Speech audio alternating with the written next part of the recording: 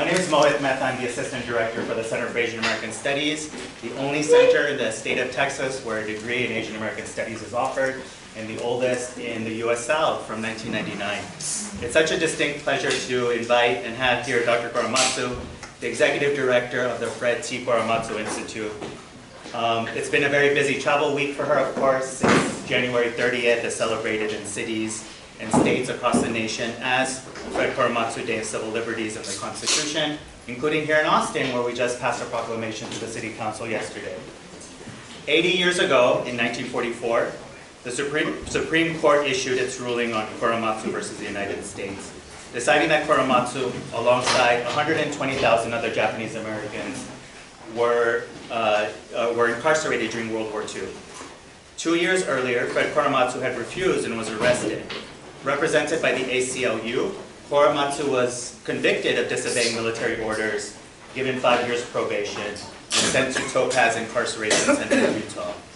The U.S. Court of Appeals agreed with the lower court's orders, and the case was heard all the way to the U.S. Supreme Court, where the majority decision declared that Korematsu's incarceration was justified by quote-unquote military necessity. The case was reopened in 1983, and Korematsu's conviction was overturned, but Korematsu versus United States continues to be court precedent. We're extremely lucky to be here in the company of Dr. Korematsu and learn from her about the legacy of her father and her continued work with the Fred T. Korematsu Institute.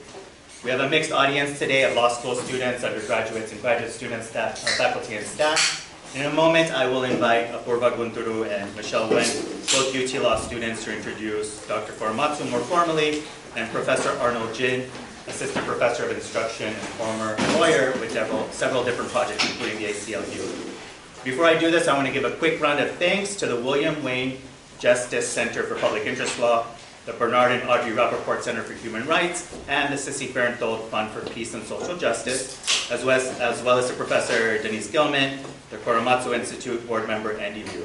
Thanks also to uh, UT alumni Michael Chang in, at 600 Degrees Pizzeria and Draft House out in Round Rock. So the pizza made it hot and fresh in 20 minutes to UT campus. We'll have some time for Q&A. You have a QR code that's available here on the screen behind you, as well as the, the, the flyer that was handed to you on the way in. Please use it to ask Dr. Korematsu any questions. Thank you so much.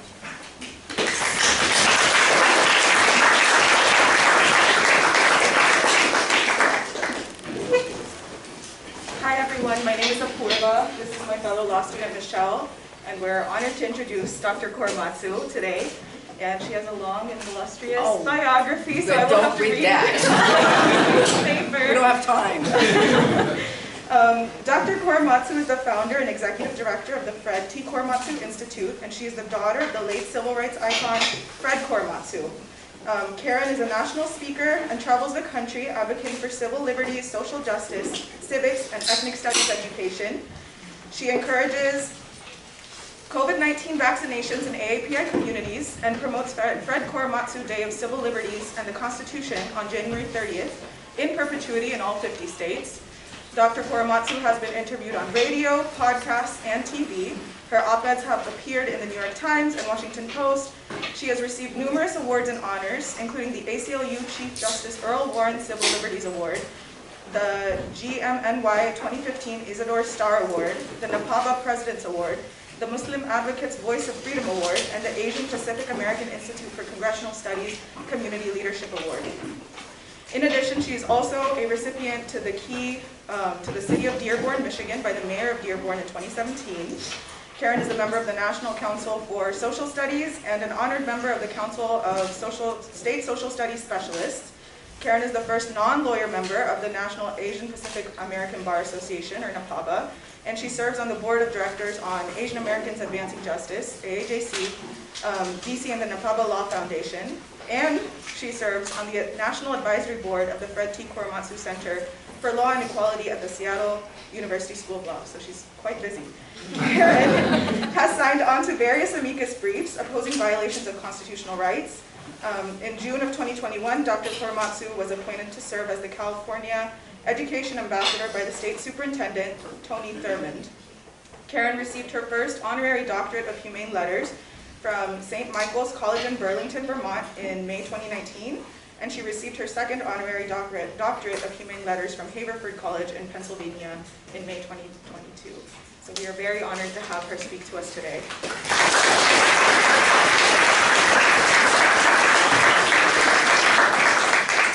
Um, and I'll be introducing Arnold Jin, Professor Arnold Jin. He graduated from the University of Texas at Austin with a BA in English and Asian American Studies. His JD is from Gonzaga University School of Law, and he also holds an LLM in Intellectual Property Law and Policy from the University of Washington School of Law. He began his legal career as a civil rights attorney with the ACLU of Washington, where he managed the Government Surveillance Project, which focused on the intersection of race, privacy, technology, and the warrantless surveillance of domestic citizens. As a litigator in private practice, Arnold handled an assortment of cases ranging from domestic relations, common law, criminal defense, consumer protection, intellectual property, and highly complex commercial litigation. Currently, he serves as general counsel at Minamoto Foods, a seafood and Japanese alcohol distribution company here in Austin, and he's also an assistant professor of instruction for the Center of Asian American Studies, where he teaches courses on Asian American history, identity, and jurisprudence. In addition to this, um, to still being a cooperating attorney at the ACLU, he also volunteers his time with endometriosis. Oh my gosh. Endometriosis. Foundation of Easton and raises guide puppies for Southeastern guide dogs.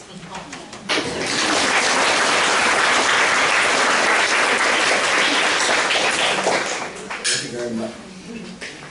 Thank you very much, Apurva and Michelle, for that lovely introduction. I I just wanted to first say, Dr. Korematsu, it is a tremendous honor, and I'm incredibly humbled to be here uh, sitting next to you as someone who teaches Asian American history. I'm looking around the room, and I see that there are a number of my students here in undergrad, and some that are currently in my history class, and I think the level of knowledge that people are aware of beyond kind of what kind of Rohit stated um, do you mind maybe first sharing a little bit about your father and maybe some of the actions that kind of led to his activism and his bravery? Well, thank you, Professor. Um, hello, Austin, uh, and uh, happy Fred Korematsu Day of Civil Liberties and the Constitution. Uh, I'm excited to be here, and I can tell you, I've been here before, but this trip has just been awesome. And uh, you have some great elected officials uh, that are, are trying to do the right thing, and, and I think in the face of adversity in themselves. Um, and we hope uh, that a legislative bill is going to be uh, introduced. Um, we've contacted uh, Representative uh, uh, Gene Wu and uh, for a Fred Korematsu Day of Civil Liberties and the Constitution for the state of Texas. Um, so that would be exciting, and as they say, I'll be back. Uh, and uh, I don't believe that my father ever uh, spoke here in, in Texas. I, I always wanted to speak, you know, in the South. Um, it was always the Northwest, uh, that, or Northeast, I should say, that he was invited to. I mean, obviously the West Coast. Um, but you know, his his story is an American story.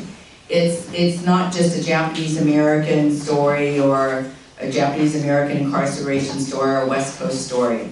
It's an American story, and I emphasize that because that's how my father believed in this country.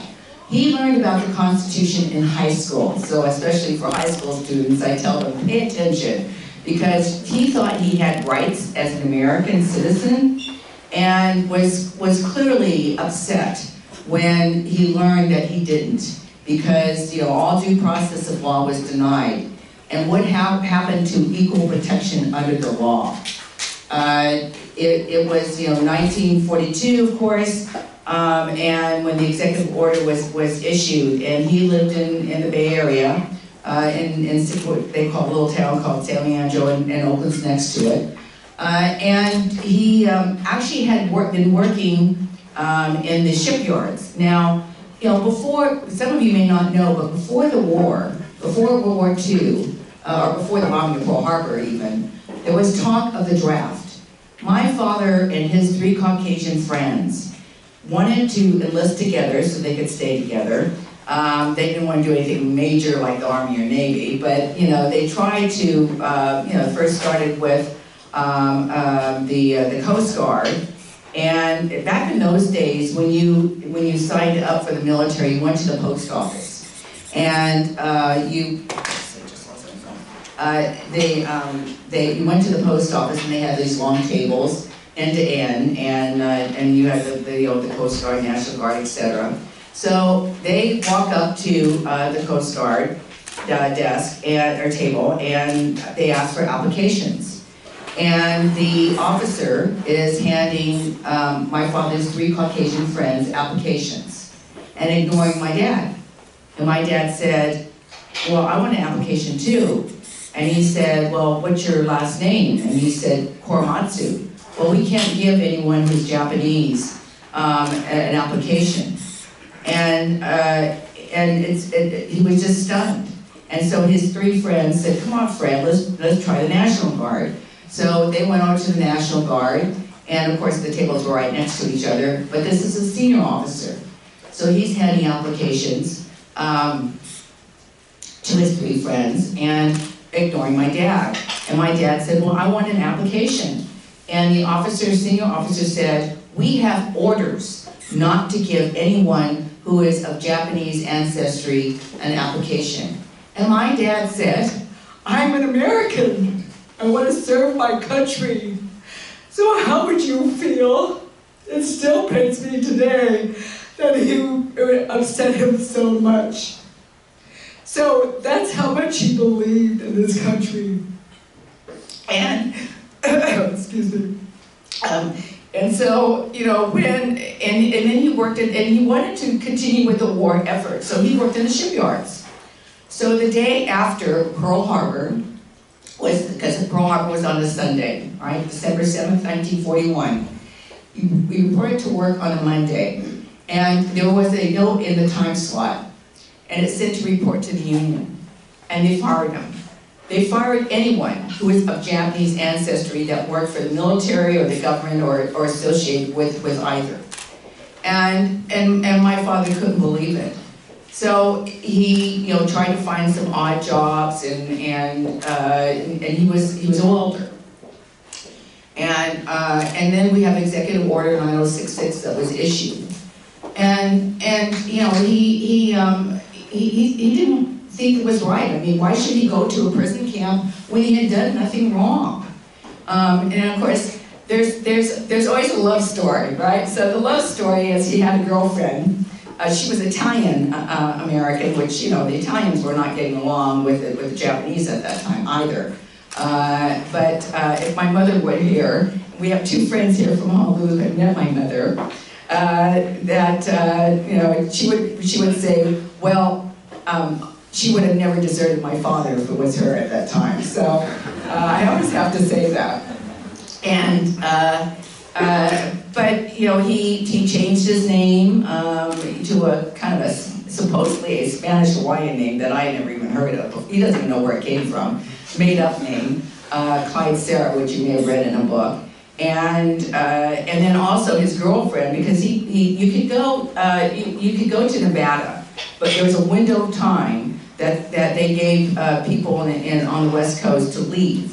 Um, but it was only like a week, it was a very short period of time. So uh, his girlfriend decided, um, she read in the newspaper about a plastic surgeon. So, you know, I mean, you do anything for love, right, for your girlfriend. And uh, so he did, but it didn't, it didn't work because, you know, his mother recognized him. So it, it was, it was a, really a con, I think uh, if you if you want to know. But you know that's and and uh, and so that's how American is that, right? That you want to stay, you know, in your community and be with your girlfriend and carry on with your life. Um, I'm sure you all can identify with that. So he um, he he uh, lived um, in a housing area near Chinatown to kind of blend in. Uh, but on May 30th, um, he was spotted on, we don't, don't even know how, on a, on a, on a uh, street corner in San Leandro. And they arrested him. And then he uh, was take, moved around from jail to jail. They, they didn't know what to do with him. Um, and he ended up in federal uh, jail in San Francisco. And one day, this attorney named Mr. Besig, now he was the executive director of the Northern California affiliate of the ACLU, visited my dad, and he and he said if be, he asked my dad if he'd be willing to be a test case, and and, and my dad said yes because Mr. Besig said if need be we'll take this all the way to the Supreme Court, and my father thought for sure by the time his case got to the Supreme Court they would see it was unconstitutional. And, uh, and of, of course, you know, that, that wasn't the case. But then he was sent, after his bail hearing, he was actually sent over to a stockade in the San Francisco Presidio. Full circle, because that was the home at the time of the Fourth Army, the Western Defense Command, right? They always, you know, military always had the best uh, real estate ever. And uh, next to the, the Golden Gate Bridge. And there was this General John DeWitt who issued over a hundred exclusion orders that forcibly removed Japanese Americans and, and people of Japanese ancestry from the West Coast. Hundred and, now we know there's hundred and twenty-five thousand, there's been five thousand more that have been discovered um, that were part of that um, uh, ex- exclusion. And two-thirds were American citizens. Remember that. And, uh, and so, you know, he, my father, they sent over to my father to, to the stockade, we're still not sure where it is. But when I founded the, um, the Fred Korematsu Institute, and uh, I said, I want our office in the Presidio. And now we're going to build uh, a Fred Korematsu Interpretive Center for Social Justice. Um, We have some cards out there about a traveling exhibit that's gonna go with it. And it'll be, because it's, it's, it's place-based, um, the history happened there. It's more than a museum, you know, you can have a Fred Korematsu Museum, you know, in Oklahoma. Um, or Austin, which, that's okay. Um, and, uh, but this is where, you know, the history happened there, and we're also going to expand it to uh, more of an ethnic studies umbrella because we want to tie those stories together. You know, we're on indigenous land in San Francisco, the Ohlone, um, you know, the, I mean, we've worked with African Americans. I mean, my father met Rosa Parks, uh, which was, that was iconic um, and, and incredible, thanks to the ACLU. Uh, and, uh, you know, these stories that all tie together. So the, the, uh, the immigration story of, you know, the Mexican Americans, Mexicans that came into California for, you know, because that's, that's what, you know, people want to do better, right? That's the immigration story. Even my grandparents uh, wanted to come to California because there was supposed to be all this opportunity. And, um, you know, so it, it, and, and then my father was sent over to, they made these detention assembly centers up and down the west coast, which were really horse stalls. I mean, they were, they were racetracks. Tanforan Racetrack, which is near San Francisco Airport, now a um, shopping center. I mean, they, you know, they just took um, uh, horse stalls, whitewashed them. Um, there was still dirt on the floor, uh, a light bulb overhead. You had an iron cot, an iron, you know, an army blanket, and that was it.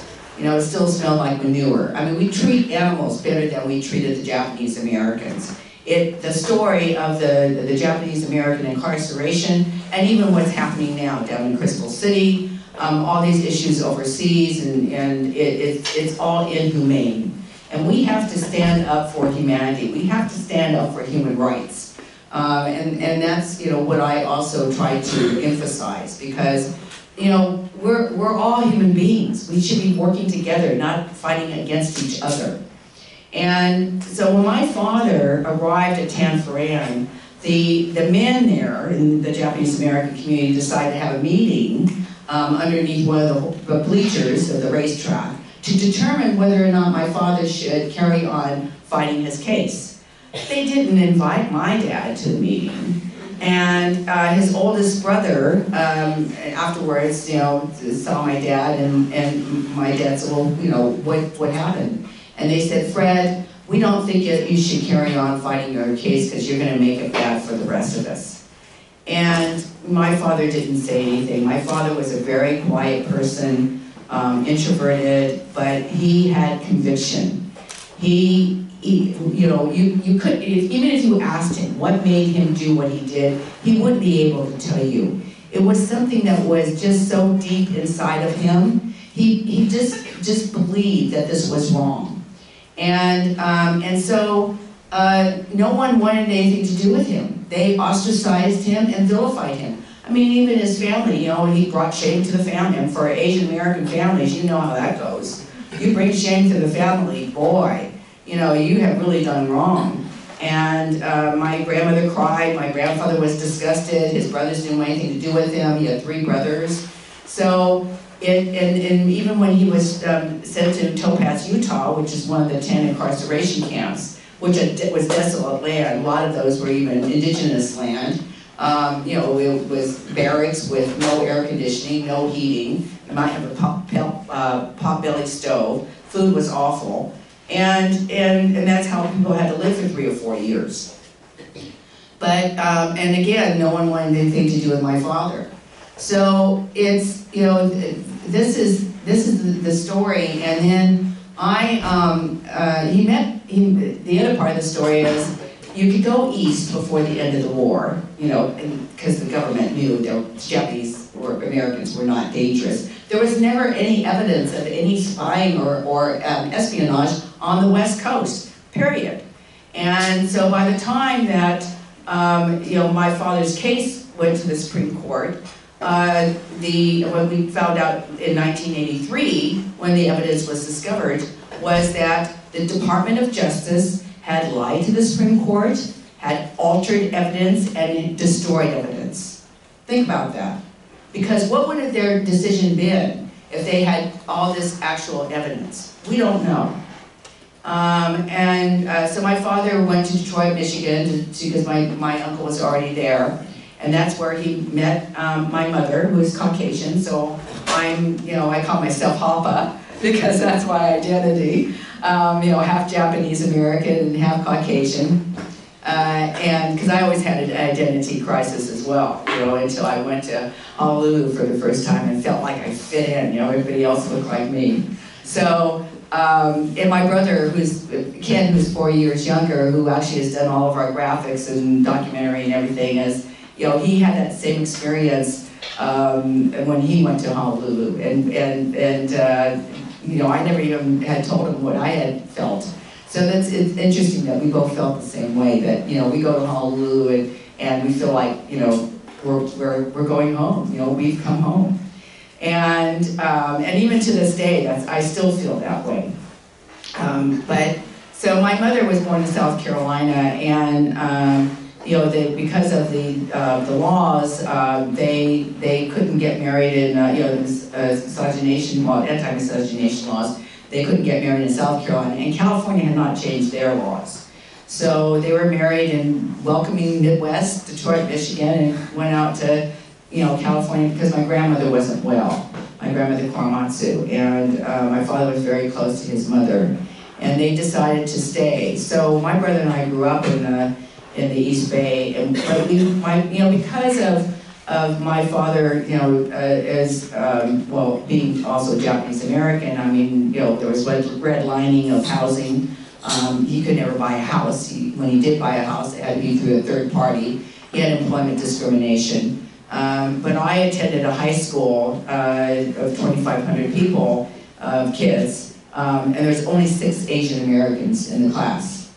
And uh, the um, in my social studies class, um, and uh, when I was about 16 years old, the um, uh, the teacher had assigned a paperback book for um, of different of different subjects and stories to my classmates. There's 35 in my class, and we all had you know something to to read, and then we you know gave uh, and then we gave the uh, got from the class to give the book report. You know back in those days. Uh, and but my friend Maya was Japanese American, and I known her since I was five years old. Her book was called Concentration Camps USA. Think about that title, Concentration Camps USA. Now it was my friend Maya, so I was paying attention.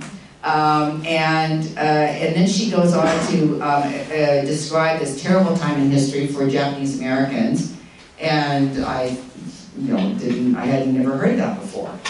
And she goes on to explain that, and then she says there's this one man who disobeyed the military orders, and it ended up to be a landmark Supreme Court case, Korematsu versus the United States. Oh, that's my last name. And I have 35 pairs of eyes turning around looking at me, and I'm shrugging my shoulders because I'm thinking that's some black sheep of the family. my, my father's oldest brother didn't turn out to be such a shining light after all, so I thought it was him. And then after class, I said to my friend Maya, what's this about? And she says, well, this is about your dad. I said, no way. I said, "Somebody you told me. And I go running home and confront my mother, and I get the standard answer, you know, back in those days was, you'll have to wait until your father gets home. so, um, you know, it, it was a long time between, you know, 3.30 and 8 o'clock at night because my father worked two jobs. And, uh, and so I, you know, confronted him and calmed down about that time. You know, my father was very quiet person, very introverted, soft-spoken, um, you know, very kind and generous. Um, you know, it, it, it, so I, you know, it was kind of very, very careful. And I, I, but I explained to him what I learned that day in school, because you know, knew my friend Maya, the Japanese American families knew each other. And, uh, and he simply said, it happened a long time ago, and what I did, he, he thought was right. What he did, he thought was right, and the government was wrong. It was that clear and simple. It wasn't complicated.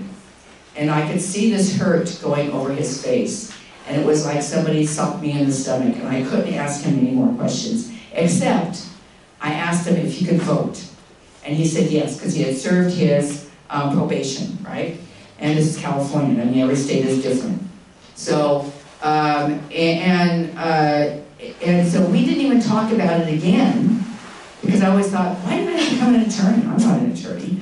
And it, it, it's it, until 1982, actually, when Professor Peter Irons um, visited my father, and he's the one, along with um, Aiko Herzig Yoshinaga, was Japanese American, found the evidence in Washington, D.C. that proved that there was no military necessity. Um, until that time, I never knew that my father never gave up hope. Think about that. To have that inside of yourself for 40 years, and he was never bitter or angry, he never blamed anyone, he just said the government was wrong and he was right. And, you know, that's the type of person that he was.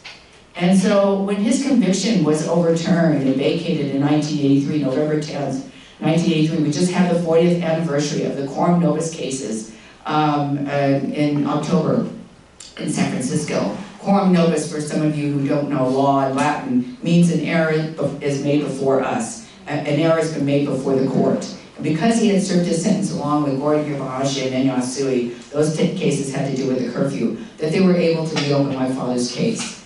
Um, and, and, and the attorneys, for all of you who are here at law school, all the attorneys worked pro bono, right? They, they worked for nothing. They raised money, they worked at night, they worked on the weekends, and they had to work in secret because they didn't want the government to know what kind of, of papers they had.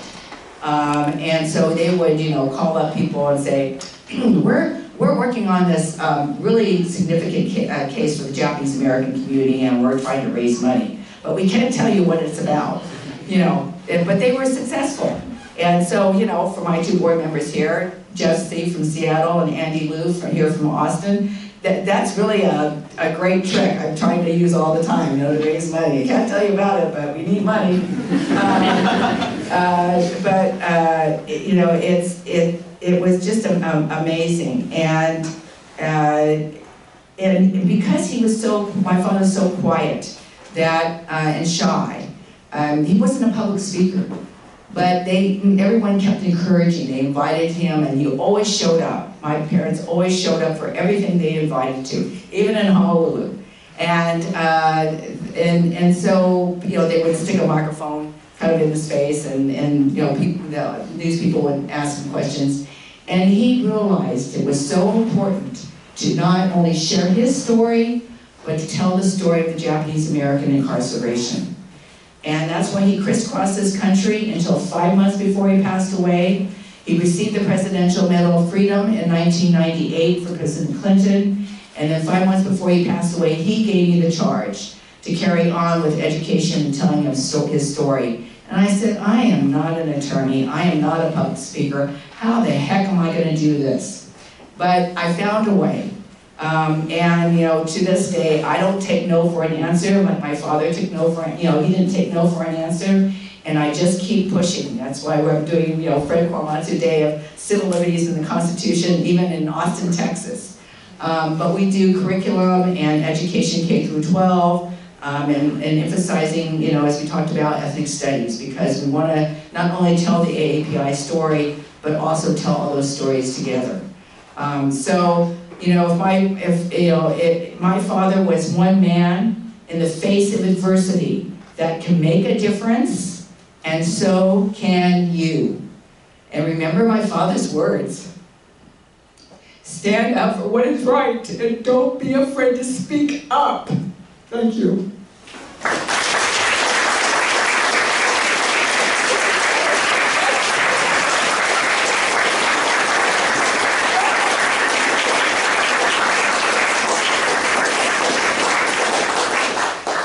I think in that conversation, you, you pretty much hit upon every single question.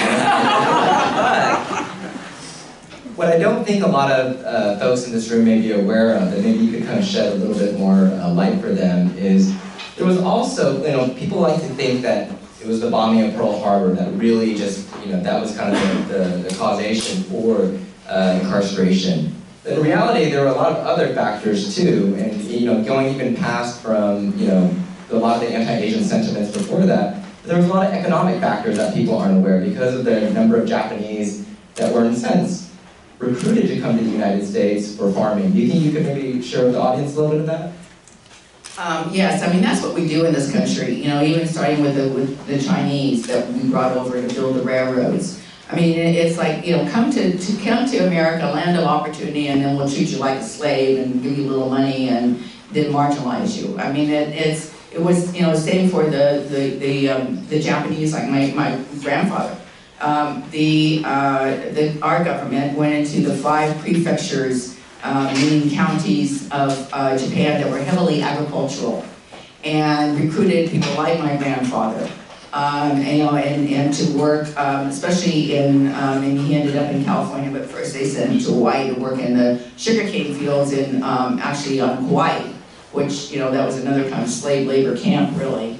And, but made his way to San Francisco and was in agriculture. And so it was a California um, uh, Farmers Association, um, made up a lot of uh, Caucasian men who, um, who really were very disgruntled because the Japanese were very good farmers. They knew how to take land that was really not, you know, to anyone else was not really, um, uh, you know, yeah, uh, you know, viable and, and they didn't think they could grow anything on it. But the Japanese uh, farmers could. And so this, you know, California Farmers Association um, was very jealous, and they were uh, really kind of, uh, you know, underhandedly campaigning to get rid of the Japanese. They wrote a, I found a letter that was written actually to uh, then uh, a California Attorney General uh, um, Earl Warren, who later, you know, found his social justice con- conscience, conscience when he became, you know, Supreme Court justice. But back in California, he did not and he upheld uh, the Japanese American incarceration. And so that was really the backstory. It's always land. And you know, the, the alien land law that even now is current that we're, we're all hearing about again, you know, California, um, you know, after um, October um, uh, 13th, 1913, if you were an immigrant, you couldn't buy land. And that's why a lot of the, uh, the Japanese immigrants who wanted to become Americans, and that law didn't change until 1952, um, you know, tried to transfer their property to their sons um, or daughters because that was a way of holding on to the land. So, you know, land is, is in property is, is very important, and, and, the, and the Japanese community was very proud. Um, and uh, it was it was it was really shameful that the way that they um, you know that they were treated, and also they, these, these other, the Farmers Association was also lobbying to, uh, because the, the farm equipment was put in, a lot of it was, you know, warehoused, right? And so they wanted that, that farm machinery, like, you know, um, farm, uh, farm machine, machines, agriculture machines, you know, like for nothing. And they were trying to really take those as well. So this is, and we continue now, even with the um, the Latinos have come up to work in, you know, in California and now in agriculture. I mean, it's been the same old story. So, you know, when are we gonna stop this? That's, this is, these are the lessons that we need to learn. Thank you very much for that, Dr. Korematsu. I, I think I have to open it up to the audience right now for questions.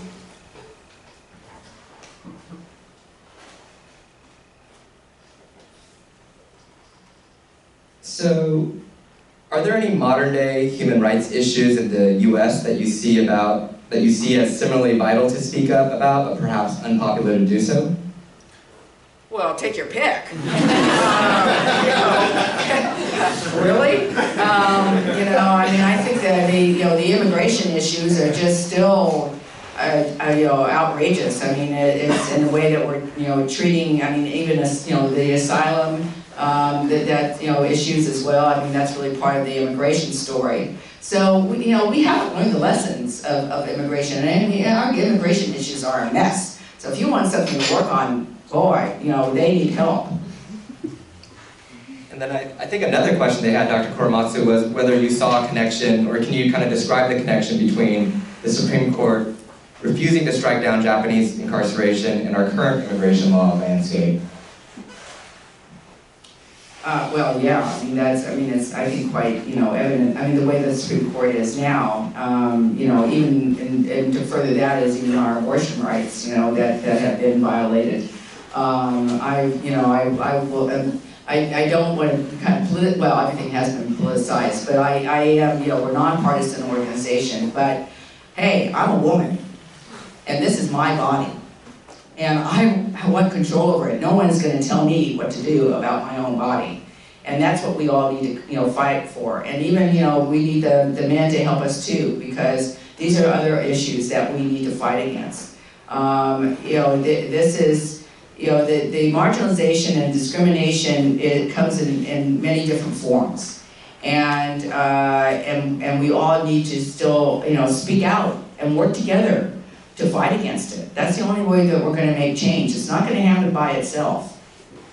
Can you actually describe maybe what's happening in Crystal City, for, for those that aren't aware? Um, yeah, Crystal City was actually um, a, uh, a, a Department of, of Justice camp back during the incarceration. Um, and um, part of the Crystal City story was, um, you know, the, uh, the government, the military, uh, really wanted to find kind of a disposable uh, people that they could trade um, you know, for, um, you know, uh, that, uh, for the soldiers that maybe had been captured. Um, and so they, they, um, they worked with the governments in, uh, you know, like especially in Peru, um, and the Japanese were really taken from their homes. Their, their, their possessions were also taken. Uh, the government sold their possessions, and they were brought to um, the U.S., especially to Crystal City, and incarcerated there. So uh, they weren't one of the 10 incarceration camps because it was a Department of Justice camp. And, uh, and now they're using Crystal City for the um, immigrants and, uh, and the asylum that um, people that are, you know, are people that are speaking, seeking asylum and putting them there in Crystal City, amongst other places. Also, the one thing I am against is separation of families. I mean, really. You know, they did this in, in uh, the day after Pearl Harbor. Um, a lot of the community uh, members, Japanese community members, were taken away from their homes. Their, their, they, know, the, their families didn't know where they, where they were sent. Um, children are also separated, um, and, and now we're doing that again. I mean, we just don't seem to learn that this is inhumane, and that's something that we need to, to speak up against. What do you, what do you think being American means for Asian Americans in the modern day today? Because when I ask this question about, I ask pretty much all my students in every class I teach, are you proud to be an American? And the number of hands right now is, is not very high, and maybe you could shed a little bit of your insight on that? Well, I am proud to be an American because I, because of my father, we have the opportunity to make change. We just need to work together to do it. Yes, you know, I keep, you know, I, I growing up, and uh, you know, even in the east in the East Bay, in you know, around the time of Pearl Harbor, my elementary school teacher would show up the picture of bombing of Pearl Harbor, and just say the Japanese were very bad people, they were, they came over to, they was, went over to Hawaii, bombed Pearl Harbor, and killed over two thousand, you know, uh, um, American servicemen. And, you know, you know, the Japanese people are really bad. Well, hello, you know, what do you think the kids did?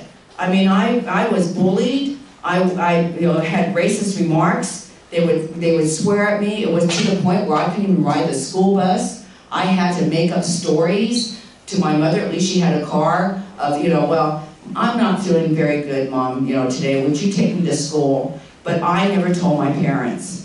And my brother had the same experience, he never told my parents. And so this happened all the way through high school.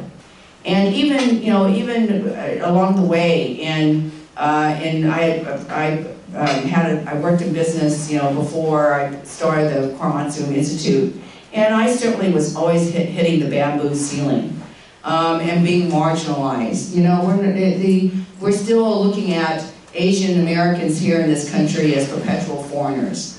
I get that. That's what I, why I, it gets me up in the morning to, to try to make this change. The way I'm trying to make changes to teach these young people, you know, the K through 12 kids, because I mean, a lot of adults have already made up their minds. But, you know, I, I say if someone says something, speak up. You know, hey, you're, this is not right. You can't, you know, you can't say these things. It's wrong. You're insulting. And, you know, this is, this is part of, you know, the belonging issue. We all belong here. And we all have to fight against this. And you have to speak up when someone is going to say a racist remark or say, you know, they, I mean, I just love this one. Uh, where did you come from? Well, I was born in Oakland. No, where did you really come from? You know, really? And uh, it, it's, you know, I even, you know, with my last name, Korematsu, well, how do you spell that? Um, I, I spelled it, well, what kind of name is that? Well, it's Japanese. Oh, well, you, you speak good English for someone who is Japanese. I said, I'm not, I'm an American. So it, it, it's a constant battle, and, and I'm probably going to have to fight this the rest of my life because, you know, I have a lot of people saying no to me. And of, of course, for Asian Americans, I mean, they just, they, you know, because of this model minority myth, actually, if you don't know this, this was, this was a result of a professor, sociology professor um, at UC Berkeley that created this, this model minority that, oh, the Japanese families have done very well, they've assimilated, you know, their kids are going to school, their businesses are coming back, you know, and, and, and then they try to use it against um, students, you know, because there's too many Asian Americans trying to, um, uh, let's say, go to UC Berkeley or, you know, wherever they're trying to apply to school. And, um, you know, and then they try to pin African Americans against Asian Americans you know, it just goes on and on and on, and, and we just have to keep fighting, but, but also to correct, correct the, you know, the information out there. There's so many, so much misinformation and disinformation, and that's what worries me the most. Another question I had was, um, this also came from a student, but I had this as well. You know, in Trump v. Hawaii in 2018, which the Supreme Court ruled on, and of course some people hail that decision as it overruled Korematsu. And yet you also have legal scholars who say that it was just a dictum, right? Yeah. You mind sharing some of your thoughts on that? Yeah, yeah. Yeah, it actually, um, it was, uh, I was speaking at a NAPABA conference, a National Asian Pacific American Bar Association conference, and I, you know, tell the story of my father all the time and say, you know, one person can make a difference and so can you. So actually, it was the Attorney General of Hawaii at that time who decided to have this lawsuit against um, uh, against Trump because of the Muslim um, travel ban, because of the executive order that he had issued um, on January 27, 2017. And, uh, and then of course then uh, there was pushback. So then it was changed to uh, the uh, immigration ban. Well, then of course there was pushback on that. And then uh, they decide to include Venezuela and, and call it the travel ban. Big deal. I mean, it is what it is. And that's what we, what the government tries to do, is, you know, to, trade, to, to, to change these euphemisms. And so it, it, it was actually um, my father's legal team that's become like my family. And, uh, and I said, you know, we need to do something about this. And, and so we decided to go ahead and submit an amicus brief, you know, as a Friends of the Court brief. And I said, to make this strong, you know, we need to do two things. To tell the Supreme Court the dangers of overreaching of power, because that was quite obvious. And two, to remind them of my father's Supreme Court case, because it's really the major case, you know, above Hirabayashi and and Minoru Yasui. However, um, the- their children, um, Holly Yasui and Jay Hirabayashi, you know, we've always been working together ever since our father's convictions were, were vacated. And, and we submitted this amicus brief, you know, together. And, and so, you know, we knew it was gonna be a struggle. Um, but, um, I mean, it, it, uh, it was totally disappointing. I mean, of course, it wasn't unanimous. Um, I think it was a five to four decision. And if you ever want to read a great dissenting opinion, read Justice Sotomayor's opinion. And um, I've, I've met her since then, which is, was incredible. Um, but she went for the juggler and, and told it like it was and said this is wrong and that we also need to, you know, to, to overturn Korematsu versus the United States. So, you know, Justice Roberts, you know, kind of in this decision, um, you know, casually says that, uh, you know, it's been um, overruled in the court of, of history. Big deal. And, um, you know, and like you said, it's, you know, it's dictum, and, and uh, it, it was only because Justice Sotomayor went after him. And, uh, and whether or not it can be really used as another precedent would take another Supreme Court case. Um, but, you know, stay tuned, because look at this country. And we don't know what's gonna be coming. Um, that's why it's so important to vote, to register to vote, even if you don't agree with one side or the other, your vote is power. Uh, that is why I, I, I think it's it's important to remember that and to be part of that change. You know, we, if we don't all vote, we're never gonna get anywhere.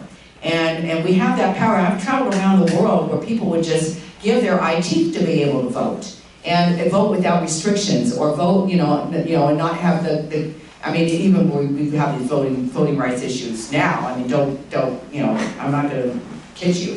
But it is, it's important that you all register to vote and vote, you know, because also it's about the issues and the policy. You know, it, it- it's not just always the candidate and how we want to make change. So, um, it, it's, it's, it's, that's where we, you know, that's why I keep doing this. I've done several with the amicus briefs. Um, you know, and with my father, actually, I want to remind everyone that the day after, um, 9/11, when, um, when uh, General, uh, Attorney General Ashcroft uh, cited my father's uh, Supreme Court case as a reason to possibly round up Arab and Muslim Americans, um, you know, my father spoke up and said, you know, government, you did this before, you can't do this again. So, you know, we need to remind the, you know, that's why I do this. I mean, I, I don't do this obviously for my health. Um, and, uh, uh, you know, but I have to keep going because I feel respons- a responsibility. You know, I'm Fred Korematsu's daughter, and I feel a responsibility to be his voice, um, his living voice, to, to try to right these wrongs. I think I just have time for maybe one more question. I think this is a. a Does anybody have a question here? I'm reading questions from the audience. Oh, They're- They've been texting it to me. Oh, okay. That technology, you know, I'm not, I'm not, I'm not up with it. I wasn't thinking of that problem. Can you perhaps speak to the alignment of some Asian Americans with the decline of civil rights, such as affirmative action, and what it means to be Asian American and work in coalition with other ethnic identities? Yeah, the coalition is very important because, um, I mean, that's why actually, um, you know, the, um, what a lot of Japanese Americans are, even my, one of my father's um, legal team members in California has been on a commission to, um, to, uh, to help write a report about reparations for the African Americans in California. Um, we have HR 40 that's out there that I really believe that we need to have a redress and reparations for African Americans. Uh, it, it's about time. If we don't, you know, and with, you know, with the Japanese Americans, and we, you know, we fought for that, we had a, a lot of compromise, believe you me. This was not a, a cakewalk. And, and of course, what was difficult was, you know, people that, that passed away, like my grandparents, you know, they didn't receive anything. And there was, and you can't, the money, there was, you know, they wouldn't allow the money to go to the families. You know, we're trying to make that change for the African Americans that were enslaved. Um, because if we, if, you know, we, we have this generational, um, uh, you know, hurt and, and pain, and we have to stop this. Um, and we need to recognize and the wrongs that, that this country has made. You know, if we don't, if we, if the, if America doesn't, i- isn't accountable for their mistakes, then how can we make change? And that's why it's important to, um, to support each other, to support, you know, these affiliations, um, and, uh, and, and to, and to work to, to try to get to a better place. I mean, we have, you know, the diversity, equity, and inclusion, and, and we need that. That's at least something that's been recent.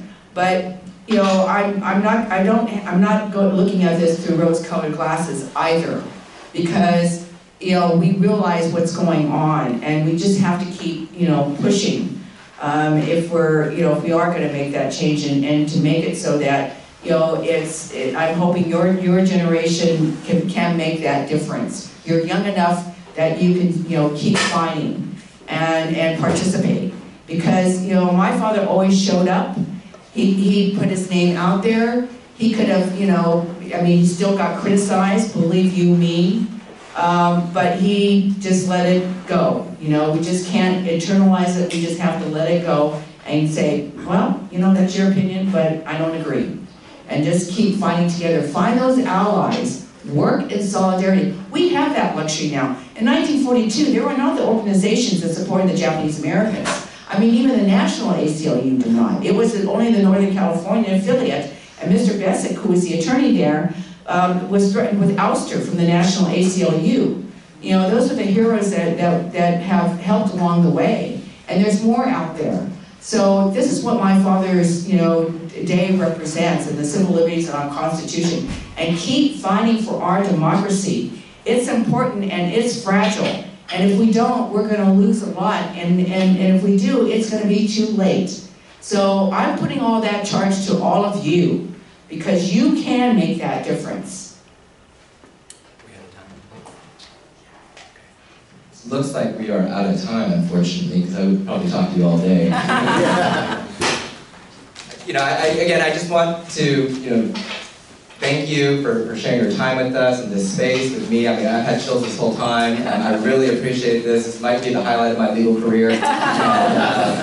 And, uh, you know, and, and, you know, your father is a better man than me, because when I teach it, like, I get so upset about court, about, you know, what Fahy did, the Solicitor General Yeah. violating 3.3, Right. which they emphasize over and over, you know, in professional responsibility, and, and it's something that, you know, when you take that oath, and you hold it very deeply, so Right. please give your, you know, a very warm welcome, or applause for appreciation for Dr. Korematsu and for,